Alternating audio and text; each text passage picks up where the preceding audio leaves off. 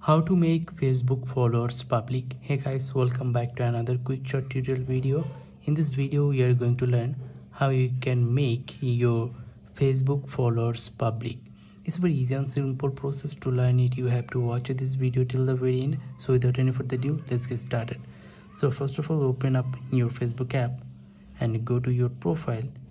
And as you can see that my facebook followers number is not showing here so now i'm going to show you how you can fix that. So to do this tap on edit public details. Tap on here. And now scroll down a little bit and here will get details.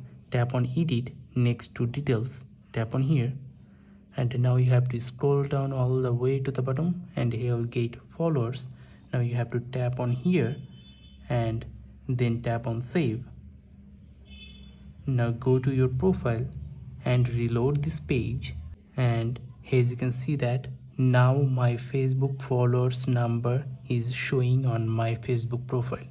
I hope you understand the full process. If you think this video is helpful then don't forget to like this video and subscribe to the channel. I'll catch you in the next video. Till then take care. Goodbye